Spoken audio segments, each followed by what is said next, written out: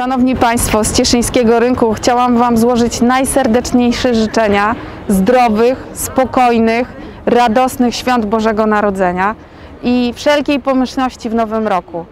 Oby to był dla nas dobry rok, żebyśmy wrócili do normalności. Tego wszystkiego Państwu życzymy razem z radnymi miasta Cieszyna.